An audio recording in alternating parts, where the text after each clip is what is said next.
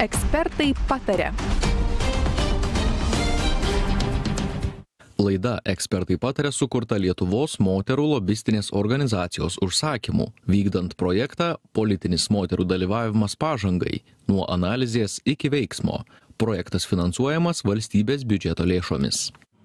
Sveiki, prie mikrofono Lina Luneckienė, ekspertai patarė žinių radio eteryje. Ir šiandien mes kalbam, ar pakanka Lietuvos politikoje moterų. Skubu pristatyti laidos pašnekovę. Studijoje dalyvauja lygių galimybių plėtros centro ekspertė Margarita Jankauskaitė. Sveiki, gerbiama Margarita. Labadiena. Žiūrėkit, na, atrodo, kad vis, vis labiau pasigirsta tos kalbos, kad likiau čia ir, ir, ir visai neblogai to moterim politikoje sekasi, liktai jau pasiekėm lygybę ir, ir, ir pavyzdžių gerų turim moteris prezidentė, dvi premjerės, įvairių sričių ministrai. Tačiau, kai pasižvel, pasižiūrė į statistiką, kad rimkime šių metų Seimą, štai ką turim. Seime turim apie 73 procentus vyrų Seimo narių ir vos 27 procentus moterų. Dar kai pasižiūrė į savivaldybės ir, pavyzdžiui, merus, pasiskirstimas, na, iš viso, kaip sakėm, devyniais kartais 54 vyrai merai ir vos šešios moterys tai kaip jūs matot situaciją? Kaip jūs vertinate? Ar ar čia tą gerėjimą matom fiksuojam kažkokį proveržį? Na kai pasižiūri į vyriausybės sudėtį pasižiūri į ministrų kabinetą atrodytų gal ir visai visai neblogai su premjere šešios moterys aštuoni vyrai. Mhm. Ai nu tai žinot čia čia visą laiką tas ar čia yra pagerėjimas ar nėra su kuo lyginsi tai aišku kai buvo laikų kai ir nė vienos moters ministrų kabinete nebuvo arba vėlgi istoriją turime e, kai ir parlamente tas skaičius buvo toksai per dešim procentų neperžengdavo tai atrodytų kad gal yra nu tiek daug moterų e, turiu galvoje seime ir vyriausybėj mes niekad nesame turėję bet mes niekad nesame pasiekę to lygmens kuris vadinamas e, lyčių balanso zona tai yra kai yra bent jau keturiasdešim ant šešiasdešim skirtingų lyčių atstovų tai mums dar labai labai toli iki tol. O tai reiškia kad e, moterų buvimas e, toje profesionalioje politikoje kol kas nepakanka kiekybės kad užtikrintų kažkokį kiekybinį pokytį. Kad pavyzdžiui tai kas yra stebima kitose valstybėse kad vis tik yra koreliacija tarp to kiek moterų procentaliai yra e, sprendimų priėmimo gretose ir kaip pavyzdžiui e, kiek dėmesio skiriama švietimo politikai socialinių reikalų įvairiom politikoj kultūroj kad vis tiktai yra ta koreliacija kad kai moterų yra daugiau šitoms sritims dėmesio skiriama yra daugiau. Tai tai mums dar yra labai labai toli. Taigi mes toj situacijoj esam kad tarsi moterų yra bet visi sako nu tai o kas kad jos yra? Taigi va čia kažkokio didelio pokyčio mes neturime. Ir tada gaunasi toksai tarsi mėginam atrasti tas, tą argumentą tokį, nu, pseudo tokį argumentą, kad, nu, štai gal ir nėra skirtumo, kas, kas tos sprendimus priima. Ar vyrai ir moteris? Jo. Nors iš tikrųjų tai rodo apie demokratijos kokybės toką. Nes iš esmės poli, politinių sprendimų prieimimo uh, gretose, vat, kokie žmonės tuos sprendimus priima, šita sudėtis turėtų atitikti visuomenės sudėti procentaliai tai netgi sakyčiau remiantis šia logika moterų turėtų būt šiek tiek daugiau negu vyrų bet taip pat turėtų būti ir žmonės su negalia ir etinės grupės kurios yra lietuvoje gyvena ir ir amžiaus prasme turėtų būti įvairovė. E, nes tada sprendimai yra priimami kokybiškiau nes žmonės yra vienaip ar kitaip priversti diskutuoti nes kiekviena grupė atsineša savo požiūrį tada randamas kažkoks tai aukso vidurys.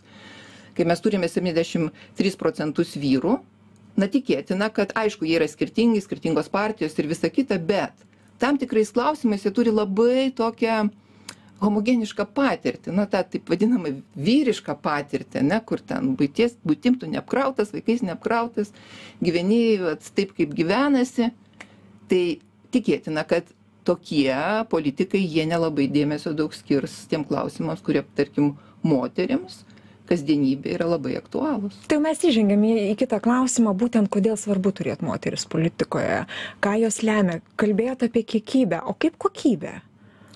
sprendimų būtent jeigu žvelgiam per sprendimų priėmimą apskritai visos situacijos tikriausiai kontekstą į įvertį jo tai ta kokybės klausimas vėlgi labai jisai priklausys nuo to na jeigu iš elektorato pusės žiūrėt tai kokią aš nu politinę jėgą labiau remiu tai jeigu kažkokia tai moteris bus kitoje barikadų pusėje tai aišku man bet kokie jos sprendimai atrodys na nekokybiški nepriimtini ir ir, ir būsiu jo ir būsiu nepatenkinta e, kas ten vyksta tai e, tai tai čia ir yra yra tas momentas kad e, bet bet suprantat mes dabar turime tuos septyniasdešim tris procentus vyrų ir ką mes galim pasakyt kad mūsų politika tokia jau labai labai labai kokybiška kad mes neturime priekaištų.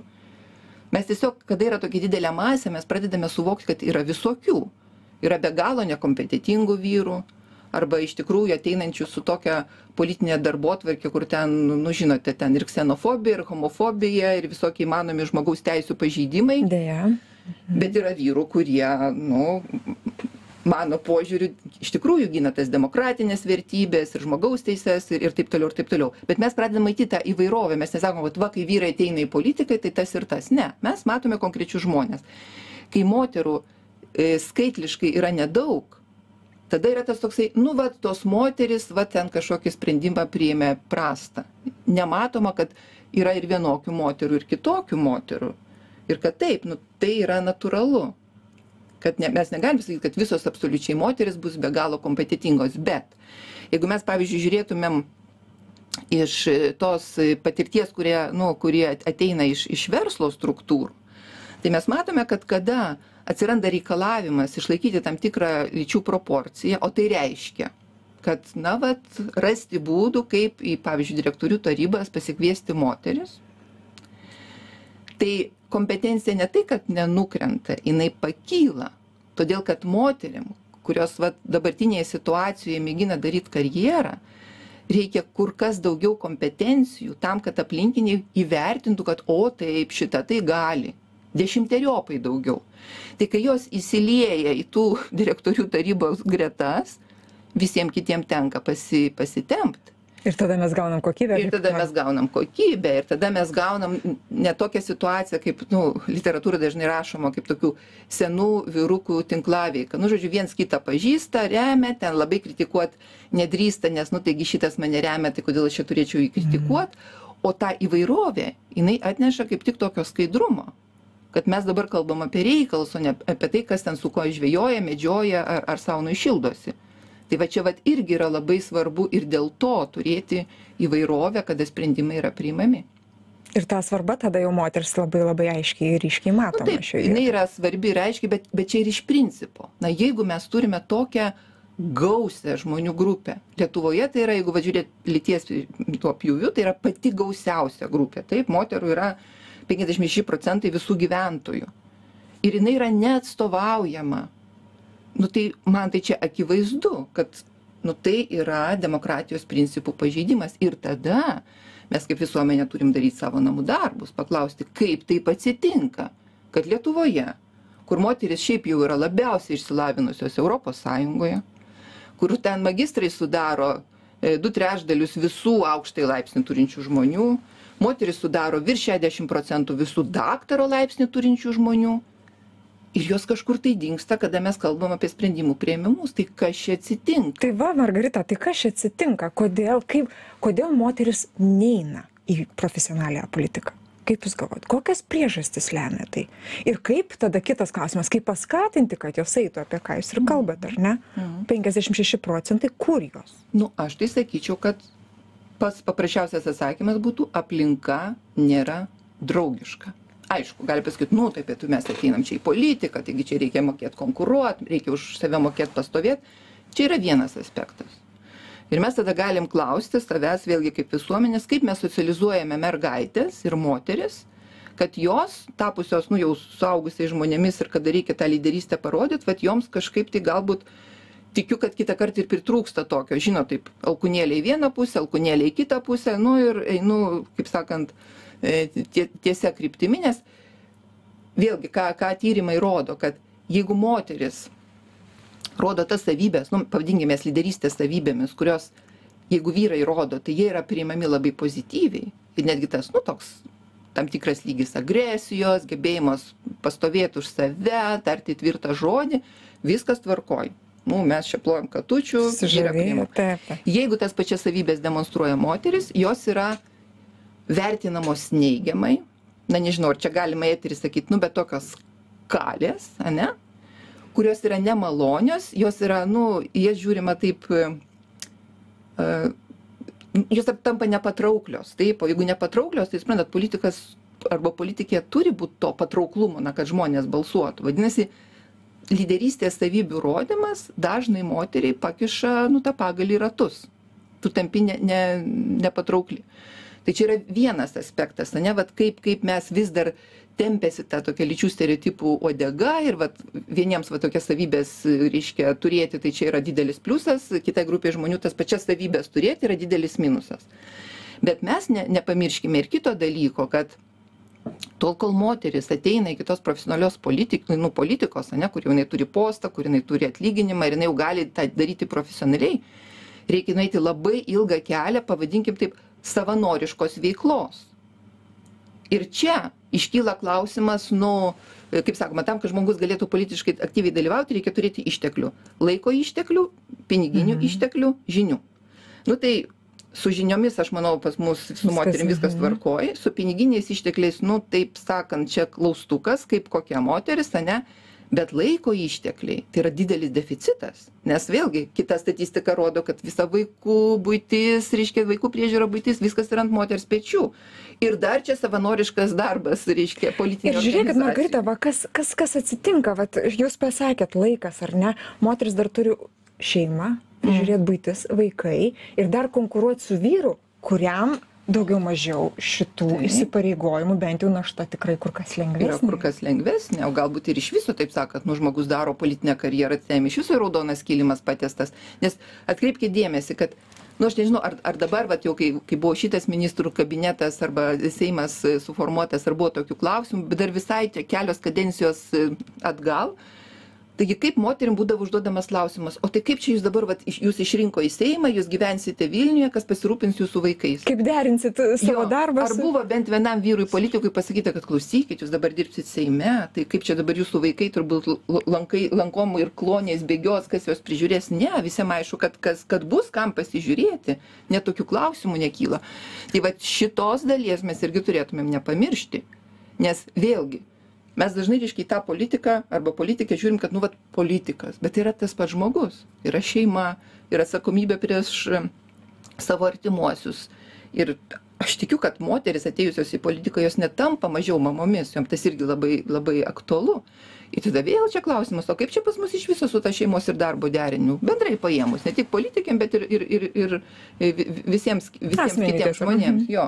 Ar mes čia pakankamai dėmesio skiriam? Ar mes apskritai matome kad tai yra problema kad sakykime kai kuriuose miestuose pavyzdžiui trūksta paslaugų vaikų priežiūrai kad iš viso vis dar tas įsivaizdavimas yra kad vat jeigu vaikai tai čia yra moters atsakomybė o vyras taip nu geriausiu atveju padėjęs ane. Vėlgi nesakau kad nėra kažkokių tai poslinkių ta linkme bet tai dar nėra tapę na savaime suprantamu dalyku.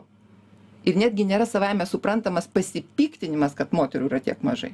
Nu pavyzdžiui belgija ir prancūzija turi įstatymiškai numatytą tvarką kad kiekviena partija kuri eina į rinkimus turi sudaryti sąrašus penkiasdešim ant penkiasdešim taip vadinamu užtrauktuko principu tai reiškia kad kas antras kandidatas yra skirtingos lyties o ne tai kad reiškia vyrai čia pas mus pirmas penkiasdešimtukas moterys paskutinis penkiasdešimtukas. Jeigu partijos neatitinka nu sąrašas ta prasme neatitinka e, šito reikalavimo jos tiesiog negali dalyvauti rinkimuose. Ir viskas. Ir jokių čionai taip sakant nes tai užtikrina tą lygų dalyvavimą. O mes, taip sakant, net bijom išsižioti apie tai, kad galbūt vat, reikėtų irgi e, nu, imtis tokių priemonių, kaip įteisinti kvotas. Tai čia mes jau jau atėjom prie kvotų ir ir ir čia viena iš galimybių paskatinti atsirasti rasti su po profesionalioje politikoje daugiau moterų kaip jūs ir minėjote ar ne? Kai kurios europos sąjungos narės siekdamos na tos didesnės e lyčių pusiausvyros net įstatymais reglamentuoja šitą tvarką. O kur mes lietuvoj esam čia su šita su šita tvarka? Nu, kaip čia mes labai geranoriškai savanoriškai uodegoj, nes yra iš, reiškia, iš tarp ES narių yra penkios valstybės, kurios neturi jokio reglamentavimo to klausimu. E, taip pat yra, mes turim suprasti, kad va tos va kvotos, kuriomis siekiam užtikrinti lyg- lygų moterų ir vyrų dalyvavimo politikoje, jos gali būti įstatymiškai reglamentuotos, o gali būti laisvanoriškos. Tai laisvanoriškos tai yra tokios kvotos, kur patijos pačios viduje, e, remiantis vidiniais reglamentais, statutais, nu, vat, nustato, kad, sakykime, mes vat, sudarinėjom tuos sąrašus, kaip ten, nu, nežinau, ten 40 procentų ar, ar, ar 50 ant 50. E, Tai e, Lietuva gelbsti nuo visiško buvimo odegoj, tik tai tai, kad vat, socialdemokratų partija turi savo statutę tokią nuostatą, kad turi būti laikomasi lyčių kvotų, kad yra sudaromi sąrašai, nesvarbu kokio, kokio ligmens em, rinkimai būtų, kad būtų, reiškia, laikomasi kvotų tose sąrašuose. Kitos partijos, mano duome- duomenimis, to nedaro. tai vienintelė partija Tai vienintelė partija ir tai, ir tai vat, mus gelbsti, mes patenkame tarp devinių valstybių ES, kurios vat, tokį, tokį Modelį reiškia, turi tą Mhm. laisvanorišką reglamentavimą. Šiaip yra 12 valstybių, kurios turi teisinį reglamentavimą, 9 valstybės, kurios turi ir teisinį, ir laisvanorišką reglamentavimą, 9, kurios turi tik laisvanorišką. Tai vat, mes patenkam į tą e, devintuką. Gerai vat imkim tos kurios turi įstatymiškai reglamentuota kokie rezultatai? Ar ar po proveržis kažkoks pokyčių a pokyčiai akivaizdūs matomi fiksuojami? Kai ką kaip galėtumėt komentuot? E, Čia vėlgi mes turime e, dar turėti vieną galvoje tokį veiksnį, ane, bendrą, bendrą mentalitetą visuomenės.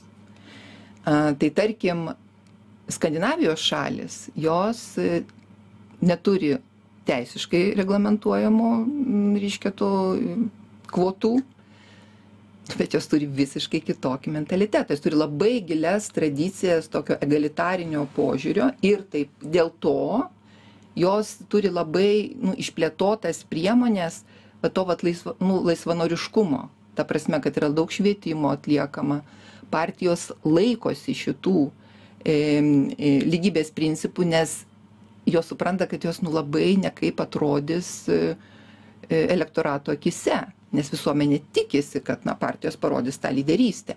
Tai aišku, kada tu jau esi tokioj situacijoje, tau jokių priemonių nebereikia, nes tos pozityvios priemonės jos ir kalba apie tai, kad jos yra svarbios tam, kad keisti tokias įsisenėjusias kažkokias tai na, visų bendrinės nuostatus, kurios trukdo rastis e, nu, pozityviem pokyčiam. Tai tose valstybėse, kur mentalitetas buvo netoks pažengęs, tai be jokios abejonės e, įstatymiškai įtvirtinta tvarka, jinai duoda rezultatų. Nes, na, pati pagalvokit, jeigu tau yra pasakyta, kad arba tu padarai pagal įstatymą ir, ir, ir dalyvauji rinkimuose, arba tu iš viso rinkimuose nedalyvauji. Nu, tai tada visi sukrunta, sujunda ir, ir pradeda ieškoti tų moterų, o kurgi čia tos visos mūsų su magistro laipsniais ir, ir, ir daktaro laipsniais. Bet vėlgi, tas įstatymiškai reglamentacija jinai irgi turi savo niuansų. Tai vad kaip minėjau, Belgija ir Prancūzija turi 50 ant 50, užtrauktuko principas, nesvarbu kokie rinkimai, laikomasi, laikomasi tokios tvarkos. Kitos šalis nustato 40 ant 60, vėlgi tos e, poveikio priemonės gali būti, kad ten arba kažkokį finansavimą sumažina, arba yra ten įspėjimai, kad jūs turite tuos sąrašus pagerinti, arba kažkokios baudos yra uždedamos. Bet vat vėlgi yra įdomu, kad ką rodo patirtis, kad e, finansinės baudos, jos galbūt netaip stipriai veikia, kaip tas principas, kad jeigu netitinki reikalavimų, tave tiesiog pašalina iš rinkimų. Nes, matot, jeigu tas patriarchališka nuostata partijų yra labai stipri, tai va čia va tas ir įdomu, kad mes pasirodo jokie ten ne homo ekonomikos, mes visiškai tų pinigų neskaičiuojam, jeigu tai netitinka, reiškia, mūsų, mūsų kažkokio tai įsitikinimo, e, nes sumoka tas baudas ir, ir toliau, reiškia, tų moterų į sąrašus nepriima. Bet čia galbūt klausytojams bus labai įdomus toksai faktas sužinoti, kad e, Niderlanduose 2013 metų buvo partija, dabar pavadinimą nepasakysiu, nes labai sudėtingai ten skamba viskas, bet jie apskritai laikėsi principų iš viso neturėti nei vienos moters savo partijoje, nes neva tai laikėsi biblijinių standartų, pagal kuriuos, na, moteris politika užsiimti negali. Šventvagiška. Nu, šventvagiška, taip. Ir 13 metais moterų organizacijos padavė į teismą, po septynių metų bilinėjimosi ir nagrinėjimo vis tik tai buvo prieita išvada, kad taip, tai yra žmogaus teisų pažeidimas ir po septynių metų jau viena moteris buvo išrinkta ten kažkokioj tai reiškia provincijoj atstovauti tą partiją. Tai, tai čia yra tiesiog, nu, kai tokius faktus žinai, tai atrodo, nu, neįtikėtina, kad 21 Europoje 21 amžius gali būti tokiais argumentais mėginama moteris išstumti iš, iš politinės arenos.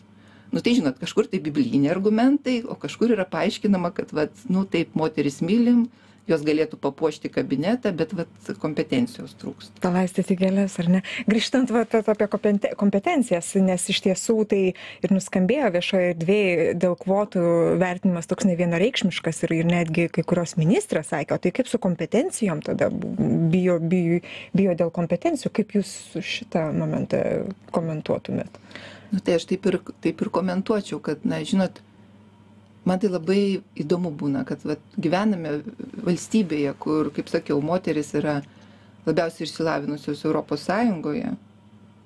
Tik du dukart daugiau su aukštu išsilavinimu negu vyrų. Kaip galima tokioj situacijoj nerasti kompetentingų žmonių? Aš tikiu kad gali būti tokia situacija kai galbūt trūksta e, žinių, kaip konkrečioj pozicijoj kažką tai atlikti. Bet tai irgi tam e, iššūkiu įspręsti yra jau praktika suformuota. Tai čia vėlgi galbūt ne tiek apie e, politinės partijas, kiek, kiek apskritai apie nu, moterų buvimą sprendimo prieimimo gretose. Tai tar, tarkim, kai norvegai savo laiku pirmieji, reiškia, priėmė įstatymą, kad įstatymiškai buvo įpareigotos stambios įmonės kad jų tarybose būtų ne mažiau kaip 40 procentų moterų. Pradžioje tai buvo laisvanoriškas tokia rekomendacija, kad, nu, vat, pasistengkit tą padaryti, aišku, kilo ten baisus triukšmas, kaip čia moterų nėra, kompetencijos mhm. nėra, moteris priimsim, reiškia, ten jau įmonė subankrutuos, tarytum, kai vyrai vadovauja, tai nei viena įmonė dar istorijoje nesubankrutavo. Nu, žodžiu, visas tas reikalas, bet jie pasakė, klausykit, duodam jum ten, nežinau, kažkiek tai metų, 3-5 ir jeigu to nepadarysite tai tada bus įstatymas jūs būsit įpareigoti ir vat labai įdomu reiškia kad kai pas atsirado įstatymas tada staiga atsirado ir moterys bet aišku norvegai irgi suprasdami tą situaciją jie įstatymą priėmė jo įsigaliojimą atidėjo pusei metų o per tą pusę metų pasakė vat jums valstybė siūlo įvairias priemones kursus kuriuos gali daryti moterim kad jos labiau nu kaip sakant jaustųsi jaukiai tame kame yra. Yra būdų kaip tą padaryti jeigu nori dėkoju jums už pokalbį. Žinių radijo klausytojams noriu primint kad e, šiandien žinių radijo studijoje svečiavosi lygių galimybių plėtros centro centro ekspertė margarita jankauskaitė. Ją kalbinau aš lina luneckienė ir toliau likit su žinių radiju gražių jums dienų. Laida ekspertai patarė sukurta Lietuvos moterų lobistinės organizacijos užsakymu, vykdant projektą Politinis moterų dalyvavimas pažangai - nuo analizės iki veiksmo. Projektas finansuojamas valstybės biudžeto lėšomis. Ekspertai patarė.